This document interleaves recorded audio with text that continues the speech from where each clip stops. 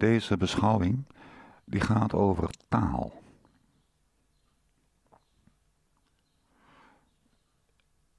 Taal is mijn passie.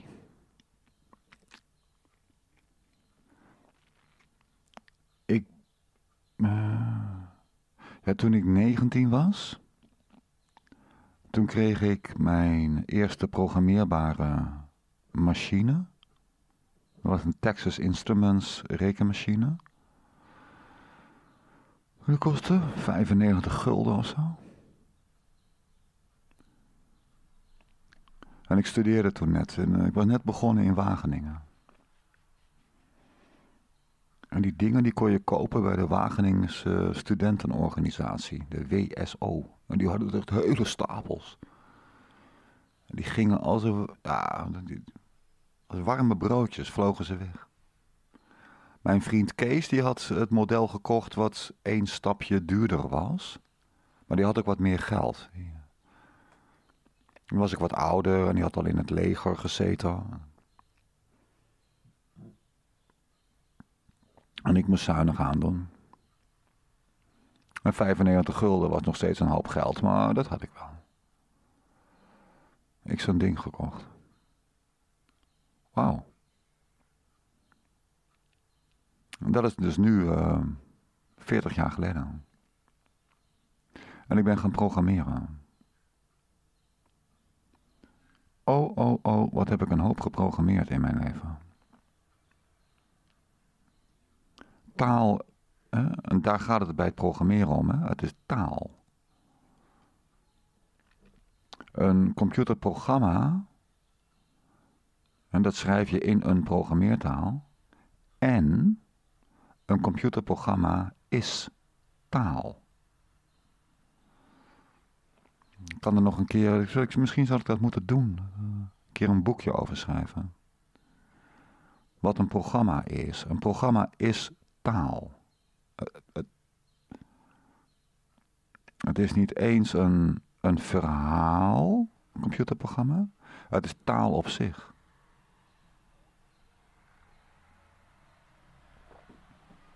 Een programma dus. Ik verslik me even in mijn thee. Ja, je moet thee moet je niet door je longen doen. Taal is alles. Dat heb ik ontdekt.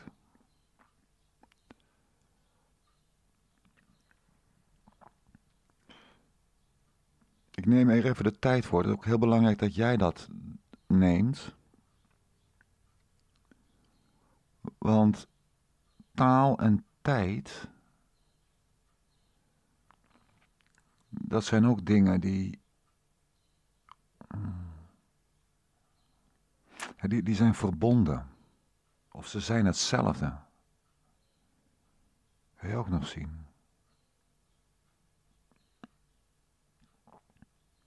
Weet ik nog nu niet goed. Maar tijd is erg belangrijk. Zeker als het gaat om taal. En dit gaat over taal en jij moet daar de tijd voor nemen. Dus als je denkt van ja, heel, kan je het even snel doen? Kan je het even snel doen? Nee, dat kan dus niet. Want dit gaat over taal. Kijk, als ik een verhaaltje moet vertellen van wat ik vandaag, uh, ik zou kunnen vertellen van, uh, het is nou zaterdag en ik zou dadelijk ga ik nog even naar de markt en wat ga ik dan doen en bla bla bla bla. En, dan ga ik Wim nog even bellen. Die zal nog bij me langskomen. Nou, dat kan hij mooi vandaag even doen. Kijk, als ik een verhaaltje wil vertellen, dan denk ik even kort na en dan, en dan gooi ik het verhaaltje eruit en dan weet je, oh, Perry gaat naar de markt en daarna gaat hij Wim even bellen en... Dat gaat niet over taal, dit gaat over taal. En ik gebruik taal om het te hebben over taal. Snap je? Het wordt heel ingewikkeld. Aan de ene kant en aan de andere kant niet. Aan de andere kant is het eigenlijk heel erg simpel.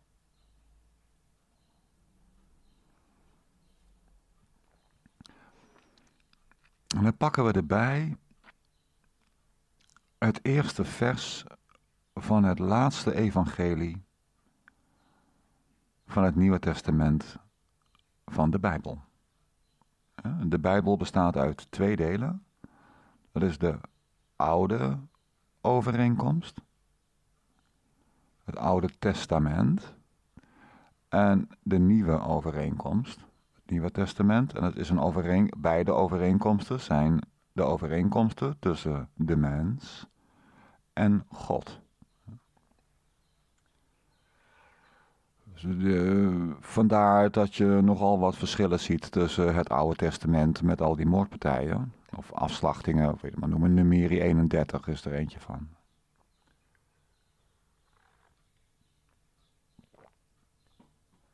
En het Nieuwe Testament. Dus het zijn ook daadwerkelijk twee verschillende overeenkomsten. Waarbij het Nieuwe Testament de vervulling is van de oude over, van, het, van de oude overeenkomst. En die was genoeg geweest en toen is de nieuwe overeenkomst gekomen. Zoals Christus zei, ik ben er niet om het oude gebeuren, de wet en de profeten, om dat te weerleggen. Nee, ik ben om het te vervullen.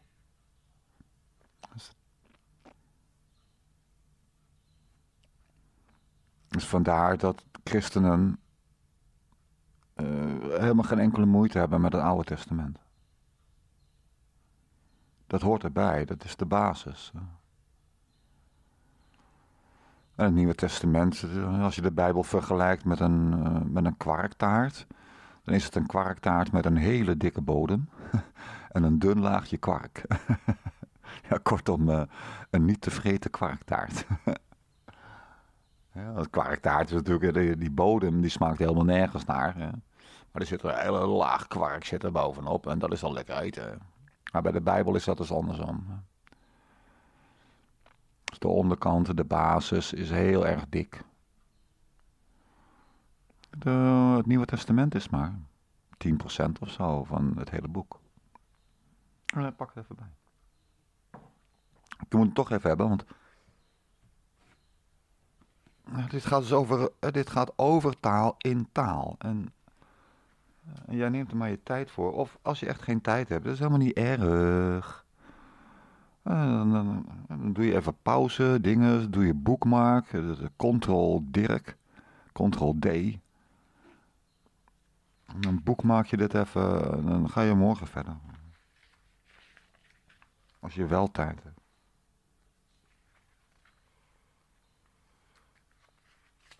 Ik heb hier een heel mooi bijbeltje. Niet zo'n heel kleintje, maar zo'n... Uh, maar niet zo'n joekel. Die zijn mij te duur. Die zijn iets van 30, 33, 34 euro. Zo. Nou, dat hoeft niet van mij. Deze was 14,50 euro. Nou, een mooi bedragje. En een handzaam boekje. Nou, dus is je 1225 pagina's in totaal. Het boekje is natuurlijk iets meer, want je hebt ook nog uh, een tussenblad, voorblad, la la la. Zitten wat kaartjes zitten erin. Dat is ook leuk. Oh, ligt Israël daar? Ja, dat ligt daar. oh, dat wist ik niet. uh, kijk, hier het Oude Testament. Dat eindigt op pagina 910 en dat begint op pagina 7. Nou goed, dat, dat ga ik dan eventjes niet uitrekenen of zo. Het is een klein verschilletje in pagina's. Het Oude Testament is maar tot en met 900 pagina's. En het Nieuwe Testament is tot en met 1200. ongeveer. Dus het Nieuwe Testament is 300 pagina's en het Oude Testament 900. Dus het Oude Testament is drie keer zo dik als het Nieuwe Testament.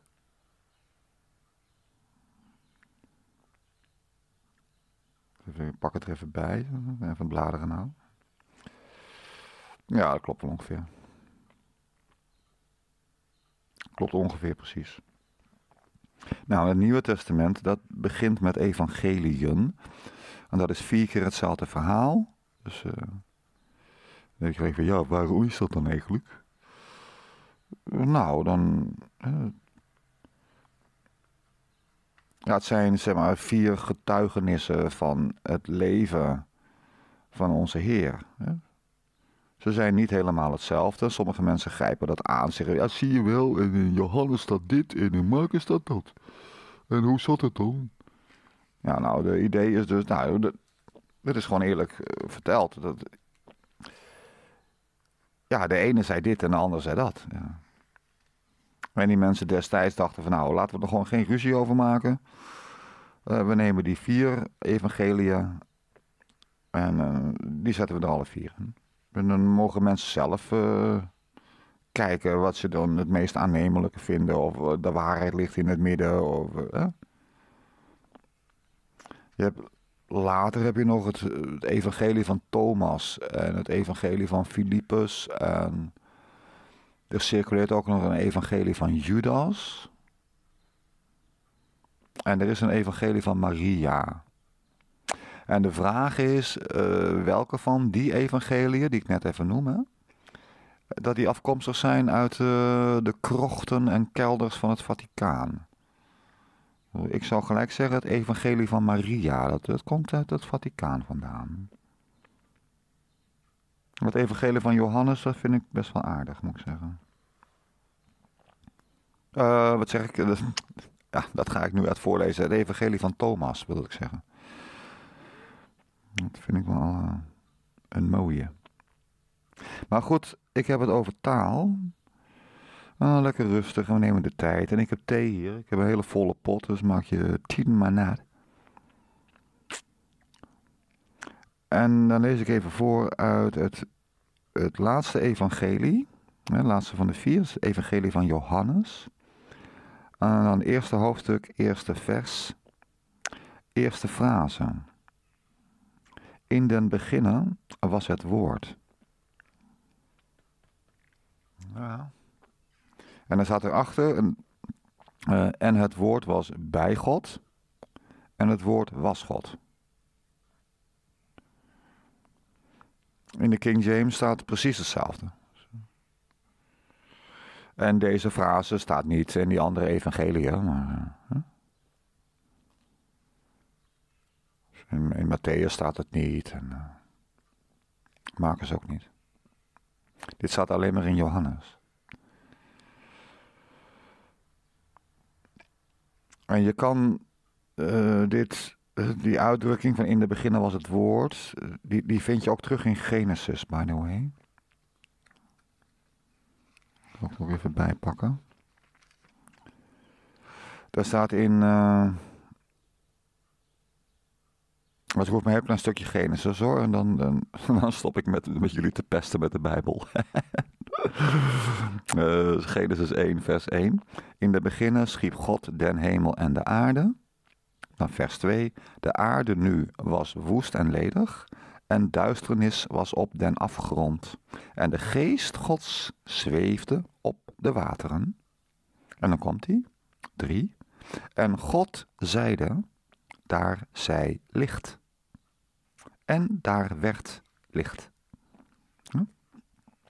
Dus God sprak.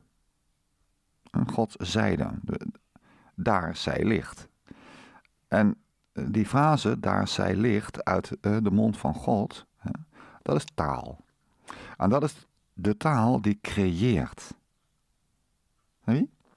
Snap je dat? En dan staat dus in Johannes 1, in de beginnen was het woord. Ja, dat klopt.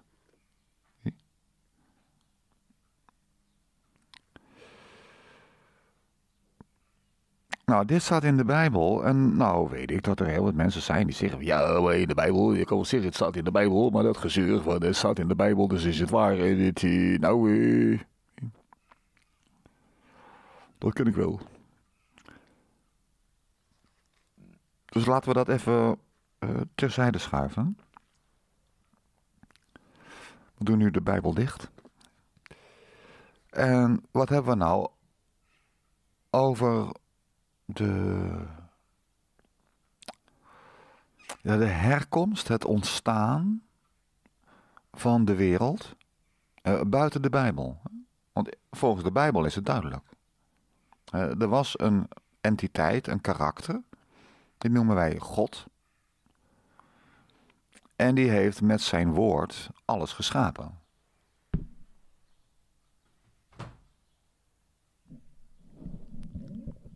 Uh, hij hoefde maar iets te zeggen en, uh, en dat was zo.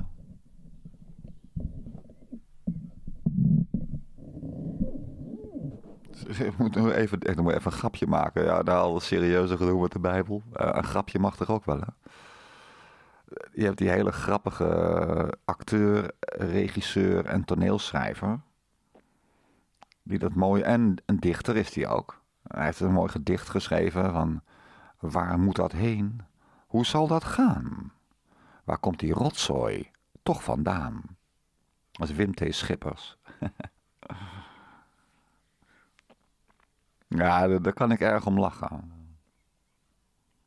En hij had zo'n leuke, dat hij, eh, was het nou de lachende scheerkwast of zo? Dat was een televisieserie bij de VPRO. En daar speelde hij zelf ook in mee. En dan zit hij dan op een stoel. Het een scène van helemaal niks, hè? Zit hij op een stoel. En dan komt er een actrice de, de set op. En zo'n hele mooie vrouw met van die eh, intelligente tieten. En van die vertrouwenswekkende billen. Eén een leuke jurkje met leuke schoentjes. En ze was natuurlijk een blondine of een brunette. Zo'n uh, guitige oogjes. Uh, die zegt dan iets eh, wat helemaal niet ter zake doet. En die gaat bij hem op schoot zitten. En dan kijkt Wim T. Schippers. Die kijkt recht in de camera en die zegt: Gek hè? Je schrijft het op en het gebeurt. Ja, hem leek het wel leuk. Nou, dan komt die lekkere meid, die gaat even bij mij op schoot zitten. Heb ik ook een leuke middag. Een goede grap.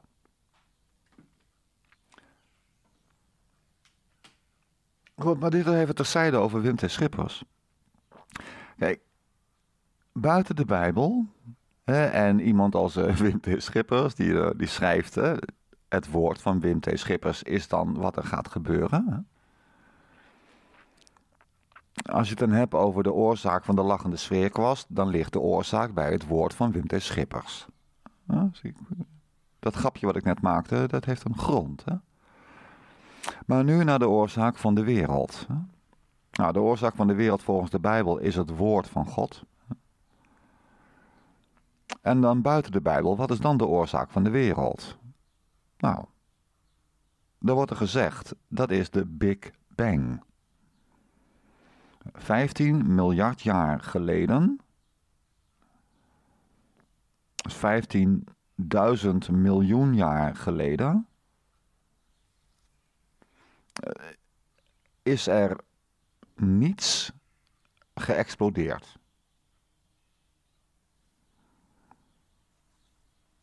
Nou, dit is, dan zou je zeggen, nee Perry, er is toen iets geëxplodeerd. Nee, dat is niet waar. Want alles wat we iets noemen, is het gevolg van de Big Bang. Dus al het, na de Big Bang was er iets. En voor de Big Bang was er niets. De Big Bang is het begin van het iets. En voordat het iets er was, kan er niet iets zijn geweest, want Snap je? Eh, taal. Taal.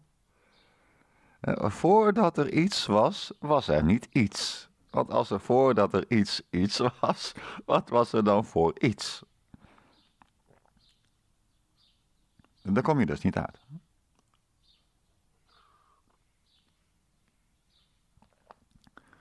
Hetzelfde proberen mensen dan ook in te brengen tegen de Bijbel. Van ja, maar als eh, God de wereld heeft geschapen, wie heeft God dan geschapen?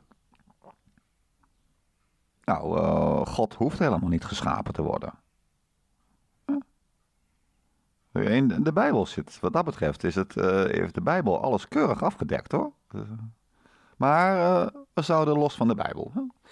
Dus in hè, volgens 15 miljard jaar geleden, Big Bang-theorie, is er niets geëxplodeerd. En toen was al het iets was daar. En dat iets, dat noemen wij materie. En uh, opmerkelijk, dit gaat over taal. Hè? Materie, dat woord, dat is gebaseerd op de frase M-A-T-E-R. Mater-I, materie. Mater betekent moeder. Zo. Ja, ja, moet ik dat toelichten? Een mater is moeder. Pater met een P van Perry, dat is vader. We hebben ook het matriarchaat, dat is dat de vrouwen de baas zijn. Daar leven we momenteel onder. We leven nu in een matriarchaat. Heel veel mensen denken dat het niet zo is, maar het is wel zo. Vrouwen zijn de baas. Met alle kwalijke gevolgen van dien. Daar komt ook die werkeloosheid vandaan. En abortussen. En eh, nou, noem het maar op. Al, ja, hoe moet het heen? Hoe zal dat gaan? Waar komt die rotzooi toch vandaan? Ja, het komt van het matriarchaat. Als je de vrouwen de baas laat zijn, ja, hou dan maar op. Hè. En het patriarchaat is als de mannen de baas zijn. En dan heb je een vreedzame samenleving.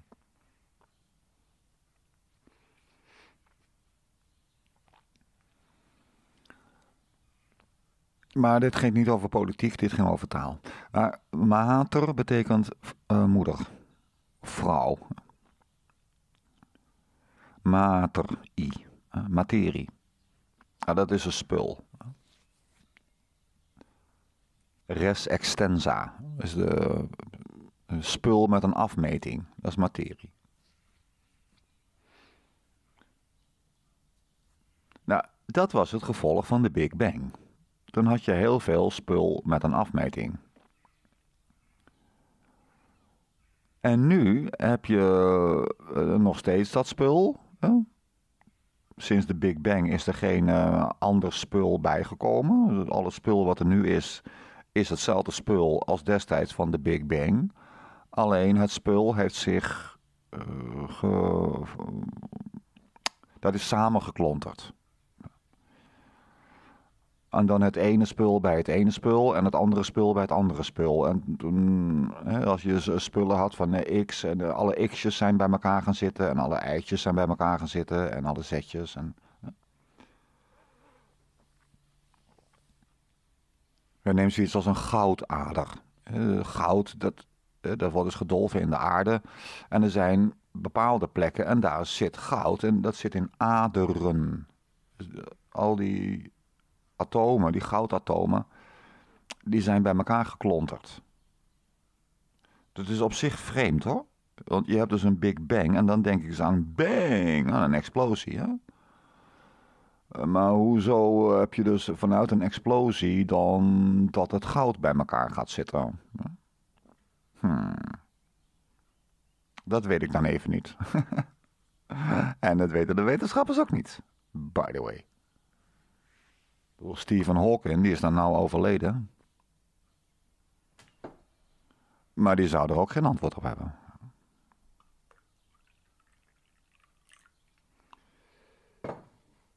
We hebben dan die Big Bang. En dan komt een Bang. Er waren al dat iets was daar. Dat iets is zich gaan uh, formeren, bij elkaar gaan klonteren. Nou, dan krijg je nog een heel probleem mee met hoe je dat gaat verklaren. Maar stel dat je daarmee wegkomt. Dat het logisch is dat uh, goudatomen, die, als die elkaar, tegen elkaar aanbotsen, dat ze elkaar dan niet zo makkelijk loslaten en dan zoiets. Hè? Dat ze aan elkaar plakken.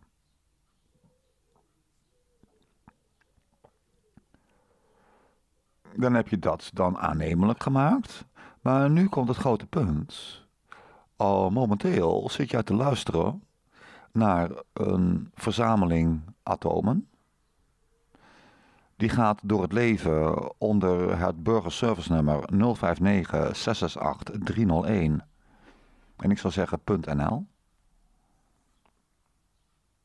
Ik zou ook eigenlijk willen eh, dat op internet dat je in kan typen 059 668 301 bsn.nl. Enter. En dan, dan zie je mijn laatste pasfoto. Ik heb mijn nieuwe. Ik heb, ik heb een ID-bewijs uh, eindelijk weer eens. Want ja, dat was in mijn zuidperiode, ging naar de supermarkt en dan kocht ik altijd bier. Maar ja, ze zien dat ik het zo uit. Ja, ze vragen mij niet meer om mijn ID-bewijs als ik daar weer eens op me afrekenen voor mijn drie uh, gulpen en een gladiator. Ze hebben toch wel in de gaten dat ik 18 jaar of ouder ben. Hè? Maar anyway, ik had dus dit jaar ik wel uitkeringen aanvragen of zo. Ik moest een ID-bewijs. Nou, ik heb het toch een pasfoto laten maken. Ja, waarom staat die niet op internet? Ja. Is nog een klein verbeterpuntje voor onze overheid, hoor. En dat ik dan zelf, uh, dan kan ik een domeintje uh, kopen, uh, huren. En die heet Perry de Flapdrol. dat, die verwijst in één keer door naar mijn officiële pagina. Waarom niet? Of ik maak zelf een websiteje en er zit een linkje op van ga naar mijn overheidsdingetje. En dan klik. En dan pof en dan zit je op 059-668-301.bsn.nl. Het enige wat de Nederlandse overheid moet doen, dat is het domein bsn.nl bij de rechter claimen. Dan zeggen we, ja, nee, dan mag hier niet een bedrijf mee aan de slag gaan, want BSN staat voor burgerservice nummer en dat is van de overheid, per definitie. Uh, bakkerijen, Sneek, uh, Nieuwerbrug, zeg maar.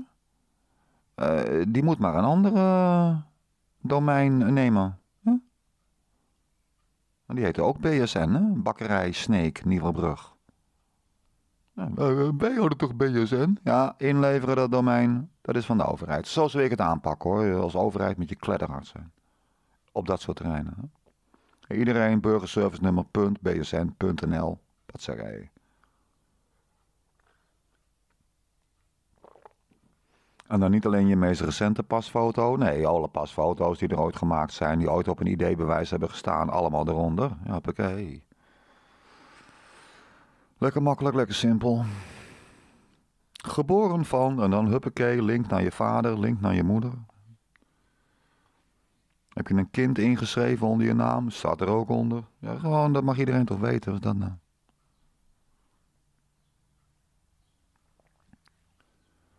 Openbaar met die gegevens. Dit gaat over taal, snap je? Taal is alles. En ik dus, dit burgerservice nummer, dat loopt tegen jou te ouwe hoeren. Dat hoor je nu toch? Hoe kan dat? Hoe kan een materie sinds zijn ontstaan, want je gaat mij niet vertellen dat vlak na de Big Bang dat die materie die er toen dan uh, gebigbankt was, dat die liep te oude hoeren. De, de, de, als je me dat gaat lopen vertellen, dan gaat, dat gaat weg. Nee. Dus er was een hele grote bang. Nou, iedereen, wauw, wat een herrie zeg. Big Bang. En daarna was het, neem ik aan, hartstikke stil. Ja, misschien wat geruis of zo. Nou ja, het was natuurlijk in de ruimte en dat is een vacuüm, dus dan heb je niet echt geluid. Maar, mm, ja, maar voor de rest was daar dus geen woord. Hè? Maar nu wel. Dus als er iets is waar uh, evolutionisten niet bij stil durven staan, is het dit wat ik nu zeg. De evolutionisten die willen zeggen, ja, je had eerst had je de apen. En uh, ja, toen was er een aap. En uh, ja, die was wel wat slimmer dan die andere apen. En uh, die wist dan alle bananen voor zich te houden en de meeste vrouwtjes te verleden. En ja, en dat zijn wij geworden. Wij zijn dus eigenlijk een superaap. En wij zijn alle apen de baas. Want in onze dierentuinen, daar zitten apen.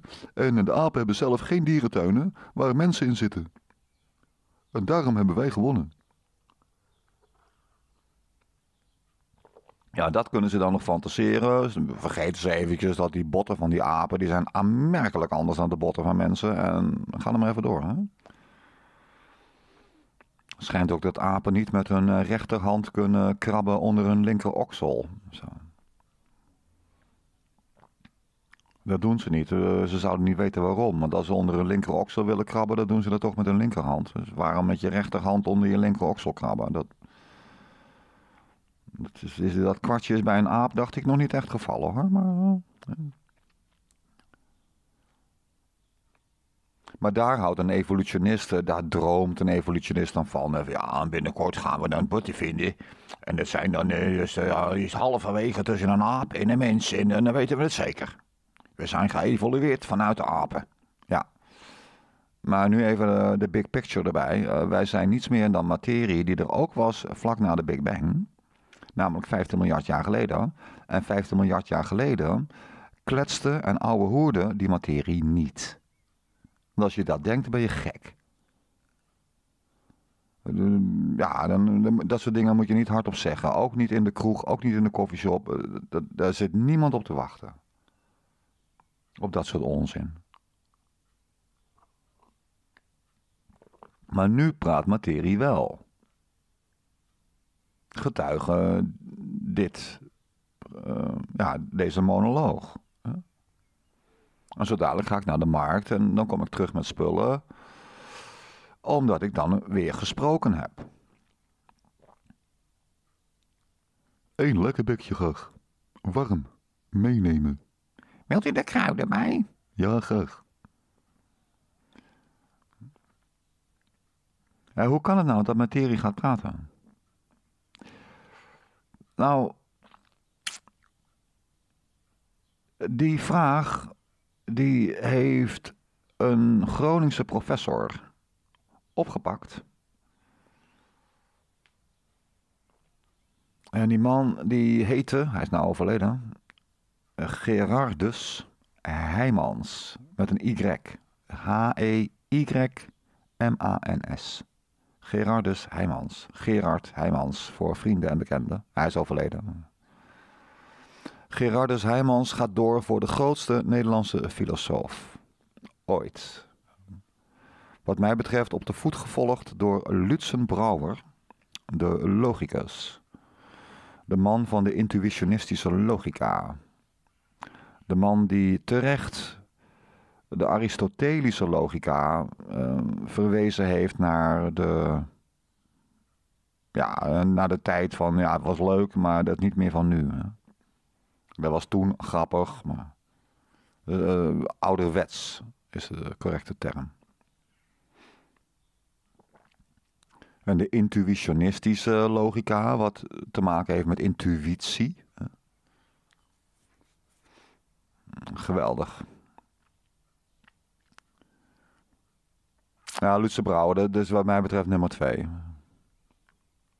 Dan kan je zeggen, ja, maar Spinoza dan? Ja, Spinoza was in Nederland aan het schrijven, maar dat was uh, een Portugese Jood. Dat was helemaal geen Nederlander. Ja, maar René Descartes dan? Ja, die schreef in Nederland, maar dat was een hugenoot, een Franse hugenoot.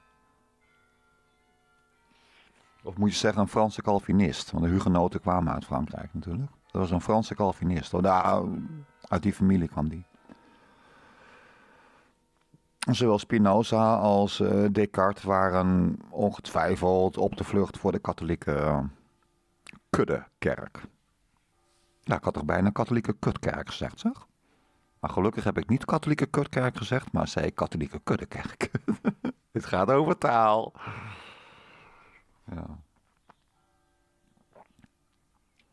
Nou, dus qua Nederlandse filosofen was Gerardus Heijmans de, de big boy, de, de big shot. En zijn uh, hoofdwerk heb ik hier in huis. Inleiding in de metafysica. En Gerardus Heijmans maakt duidelijk dat je op geen enkele wijze, ook niet met toekomstige geweldige theorieën, uh, kan verzinnen hoe het mogelijk is dat materie kan kletsen.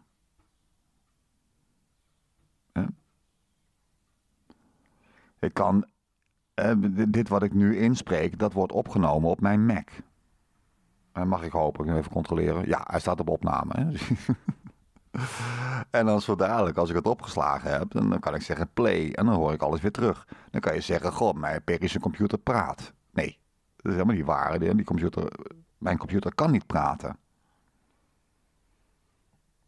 Mijn computer kan ook niet programmeren. Mocht hij willen. Als ik een, een, computer zou, uh, in huis zou krijgen en dan zou ik in de gebruikshandleiding lezen van ja, en als je dan uh, dat knopje indrukt, dan gaat hij zelf programmeren. Dan zou ik gelijk, dan zou ik die computer teruggeven. En dan iemand zegt, well, hoe geef je die computer terug? Ik zeg, nou, er zit een knop op en als ik daar per ongeluk op druk, dan gaat die computer, die gaat zelf programmeren. En daar heb ik helemaal geen zin in.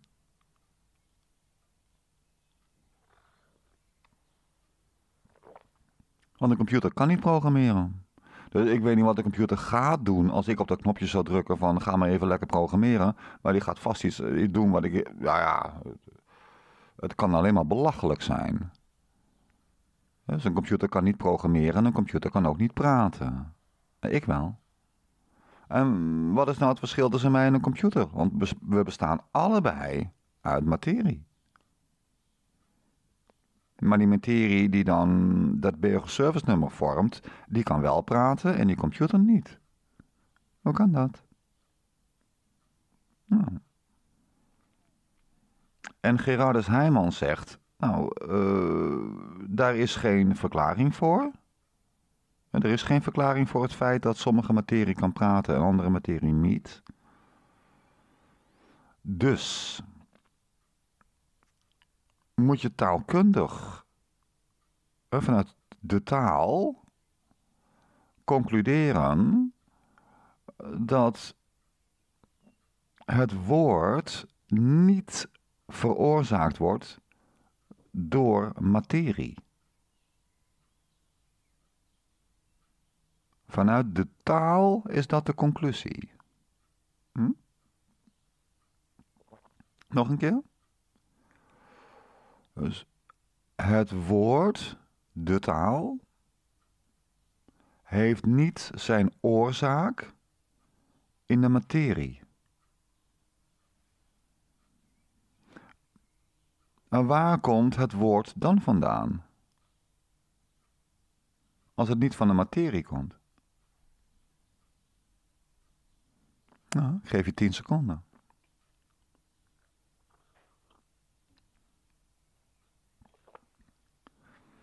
Dus als je ooit met een evolutionist uh, in gesprek raakt, ja,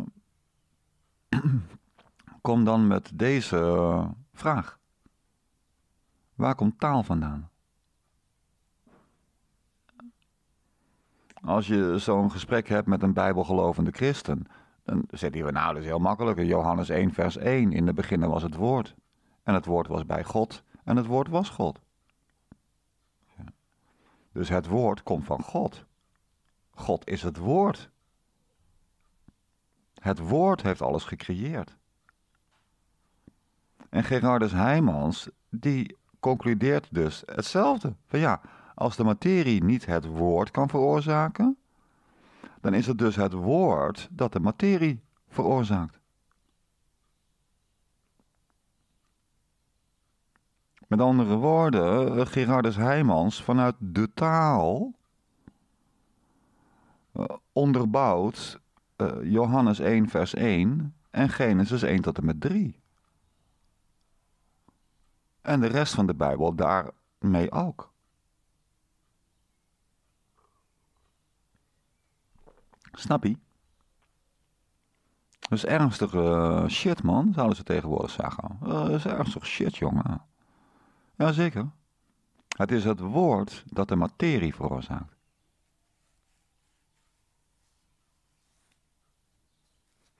Ja, maar als ik heel hard denk aan een ijsje met slagroom, dan heb ik nog niet een ijsje met slagroom.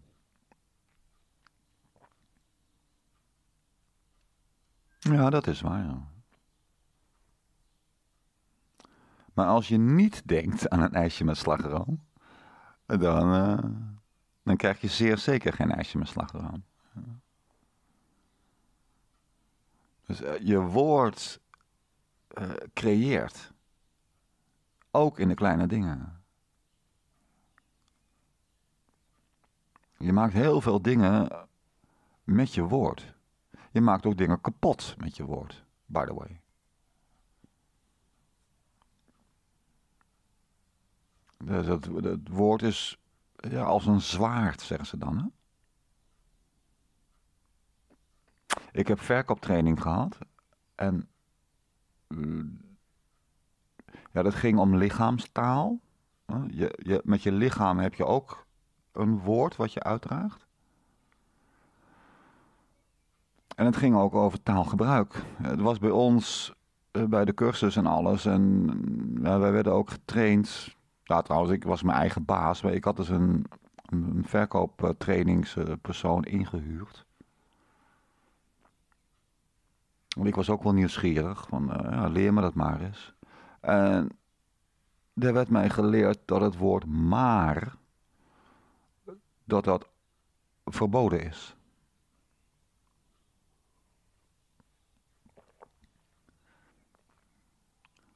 Wanneer je als verkoper, dan hoor je, nou ja, je klant zegt iets, daar begint het dan mee. Je klant zegt iets en daar ben je het niet mee eens. Dan denk je, ja, als je zo gaat denken, als we dat paadje inslaan, uh, dan, ja, dan verkoop ik niks. Hè? En dan heb je vanuit je platitude, zo, vanuit je ongetrainde brein, de neiging om te zeggen, dan de klant zegt, ik vind zo en zo en zo. En dat je dan zegt, ja, maar Ehm, en dan kom je met jouw punt. Dat moet je niet doen. verboden. Het woord maar, bijvoorbeeld, hè, eh, daar zit een smaakje aan. Daar zit een luchtje aan.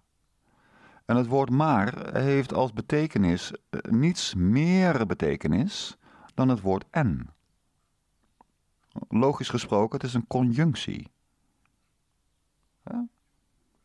Ik ging naar de markt, maar ik kocht een lekkerbek.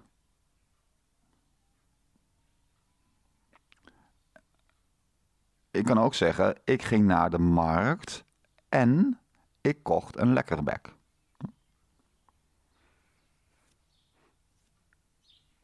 Dus allebei, eh, als je een lekkerbek gekocht hebt op de markt, eh, dan is het alle, beide zinnen zijn waar. Ik ging naar de markt, maar ik kocht een lekkerbek.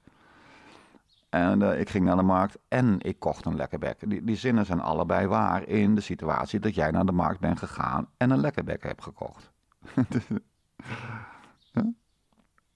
maar toch hebben ze een andere geur.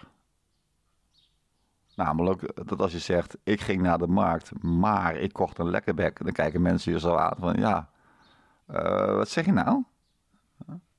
Terwijl als je zegt, van, ik ging naar de markt en ik kocht een lekkerbek. Dan mensen, oh, ja, zo eentje van 2,50 bij de Scheveningse vishandel. Waar die leuke jonge vrouw werkt. Met die uh, ogen.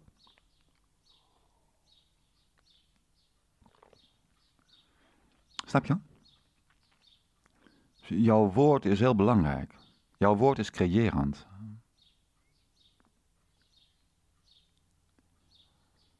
Jouw woord is alles. Ja, zoals God de wereld heeft geschapen met zijn woord, eh, zo schep jij ook een wereld met jouw woord.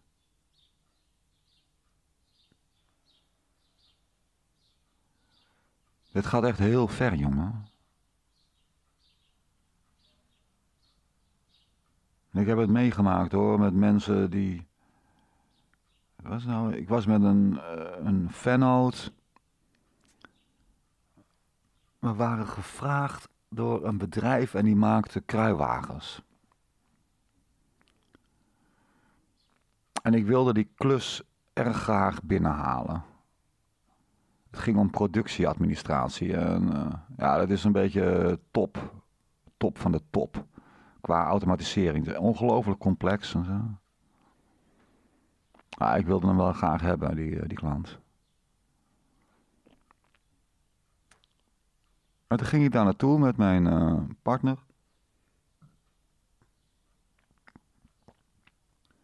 En toen kwamen we daar aan bij het bedrijf. En er stond daar buiten, stond, of, daar binnen, er stonden een aantal van, die voorbeeldkruiwagens uh, die ze daar maakten. Ik zei, oh, hier staan die producten die ze maken. En mijn collega zo, ja, klote kruiwagens. Wat krijgen we nou? Ik zeg niet dat door die opmerking van hem uh, de opdracht niet door is gegaan. Dat, dat gaat me te ver, maar...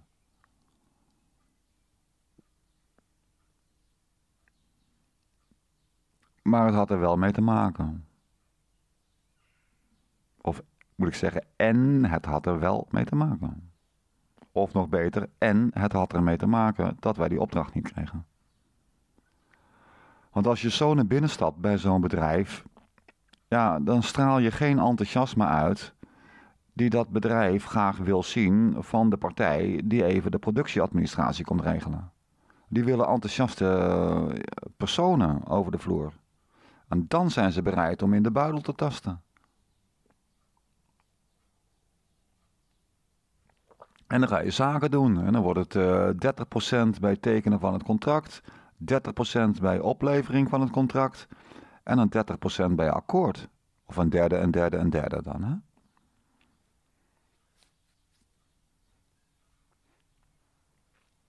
Je spreekt een bonus uh, af. Van, uh, we praten totaal over uh, 40.000. we vragen dan 38.000, maar als, of, of en, weer heb ik maar, en als jullie echt tevreden zijn, dan willen we 42. Dat staat ook heel goed hoor. Dus daar kan een klant op gaan happen, jongen. Het gaat allemaal om taal, snap je? Wel, het kost eigenlijk 40. En we doen het voor 38. En als jullie heel tevreden zijn, dan willen we 42. Of eh, dan kan je ook nog zeggen, en als we heel erg tevreden zijn, dan mogen jullie 4000 extra betalen. Kun je ook nog zeggen. Want ja, zo'n bonus kan je toch niet afdwingen, dus dan kan je net zo goed cadeautje geven. Het gaat allemaal om taal, man.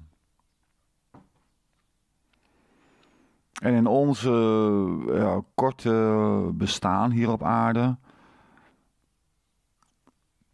Ja, wij kunnen niet een wereld creëren. Dat, dat gaat niet. Daar zijn we te onmachtig voor. Maar wij kunnen wel iets van een wereld creëren. Wij kunnen materie formeren, bijvoorbeeld.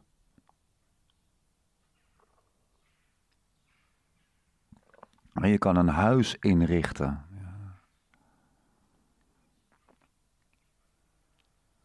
En zo creëer jij een wereld. En dat hogere ordewerk, dat God dan even zegt van eh, in de duisternis, toen er nog niet eens licht bestond, dat God zei, daar zij licht. En huppakee, uh, en dat was het ook.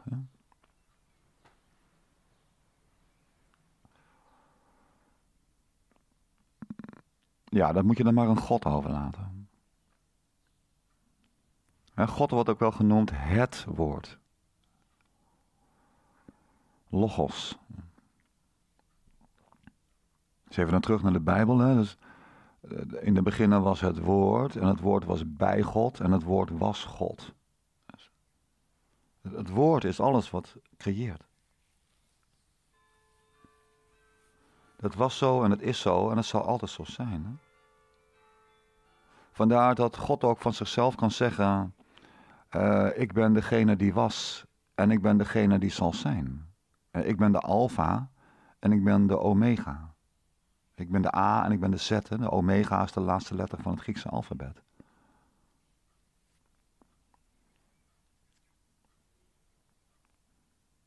Natuurlijk, het woord was aan het begin.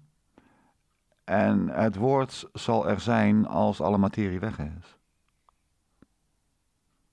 Dat is de enige manier waarmee je je beeld in de taal kan hebben van de werkelijkheid. Want de werkelijkheid, de materie, die kan het woord niet veroorzaken. En als jij een beeld wil hebben van de werkelijkheid, moet dat via het woord. Nou, als je via het woord een beeld krijgt van de werkelijkheid, dan moet er dus in dat beeld van de werkelijkheid ook het woord zitten. Nou, aangezien het woord niet kan komen door de materie, moet het woord ja, zelfveroorzakend zijn. En daarmee is de materie ondergeschikt aan het woord. Snap je? Want de materie is niet zelfveroorzakend.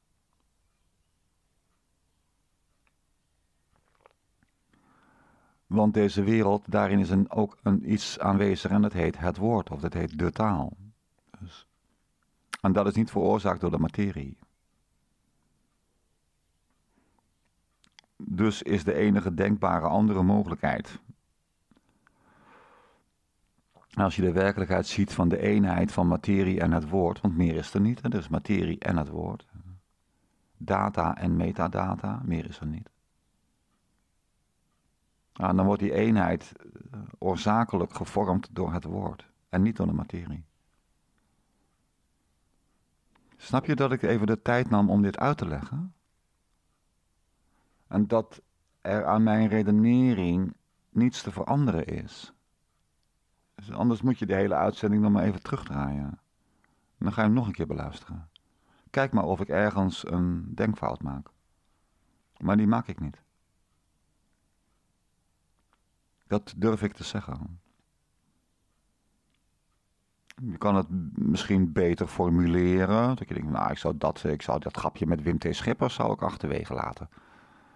Dat, nou, laat ik aan jou. Hè. Ik vond het leuk om dat te gebruiken. Maar in de. Of, en, ik weer het woordje maar. En. Hè, in het woord heb ik gelijk. In het woord heb ik gelijk over het woord. Het woord is de oorzaak van alles. Het woord is de schepping. De schepper, moet ik zeggen. Ja. Denk om je woord. Christus heeft gezegd, toen aan hem werd gevraagd van, uh, ja, hoe zit het met die voedselwetten uit de, de oude overeenkomst tussen de mens en God? Dan moet je met name denken aan, dacht Leviticus.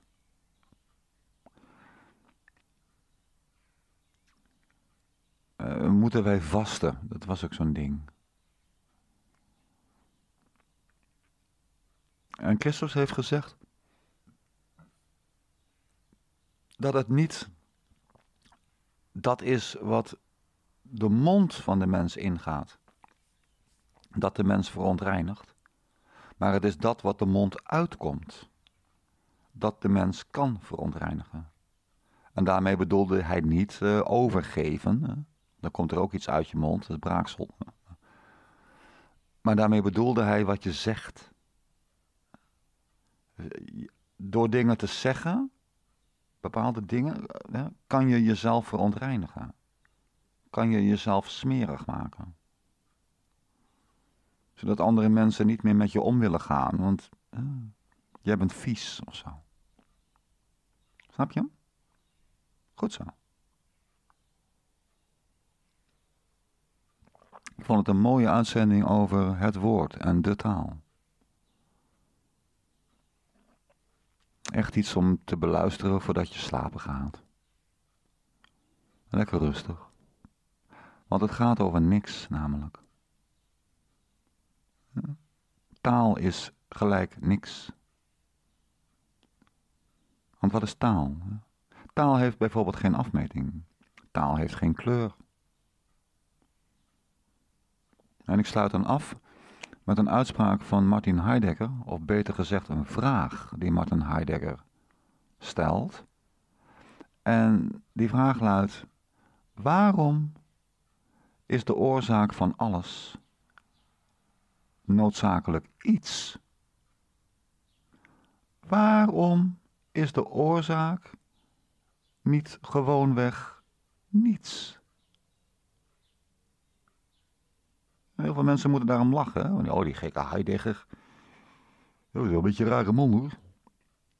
Ja, maar in de taal is taal niets. Dus dan zegt Heidegger, Waarom is de oorzaak van alles niet gewoonweg taal?